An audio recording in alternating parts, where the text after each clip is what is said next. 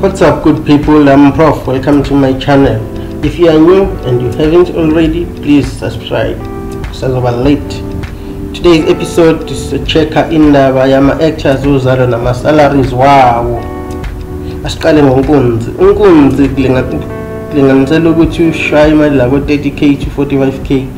Futhi kuyayenza isense because uhlezi evela almost every episode uhlezi ekhona kuma-conflict abakhona ubakhona kuba uqhabanga uqhabanga akabi more involved kodwa naye usethanda ukuthi abe khona naye balingisela 25k to 35k um futhi kuyayenza isense because useba involve entweni eningi. Kuwumanqobo uhlezi khona kuyona yonke. Into uthi uyabheka manje indaba yamxolisi kuyona usuka kule ngane uhlezi kuyona yonke into. Uyaboshwa yonke into hlezi yenzeka kuyena. Ikona ngathi yena khokhelwa kakhulu ku-mastermind. Mastermind akahleze khona kuyona yonke into but naye izitori zihlezi zimlandela uhlezi active i think 25 to 35 cishe bafane nothobile. Nothobile qale kancane ekugcineni libe likhuphuka ikhuphuka irole yakhe manje use-more active.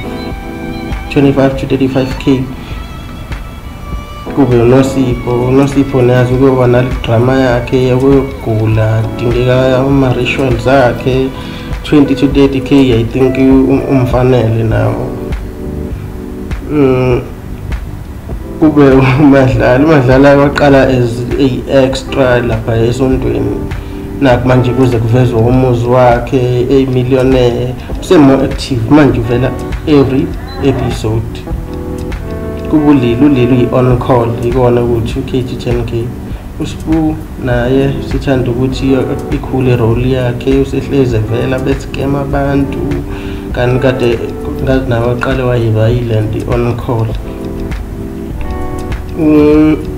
hhayi u-dk u-dk uyi-on call akaveli njalo 7 k to 15 k is very good salary for her mm.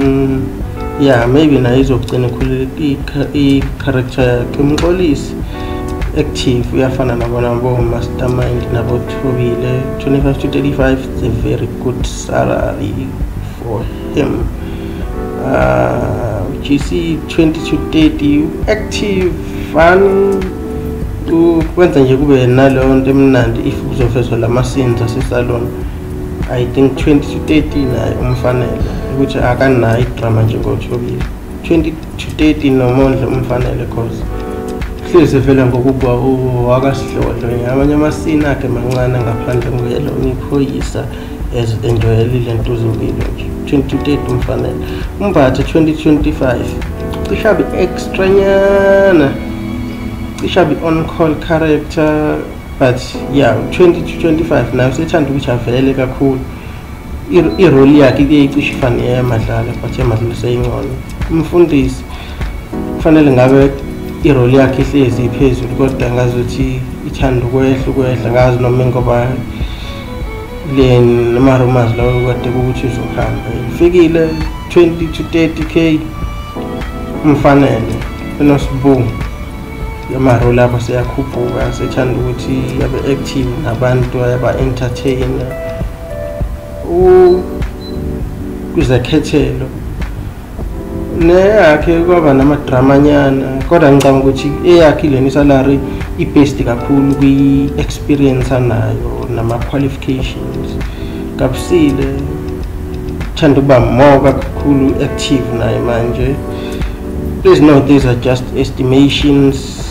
Akho ma-leaks aqhamukile from thanks for watching. If you like this video please thumbs up and subscribe. Until next time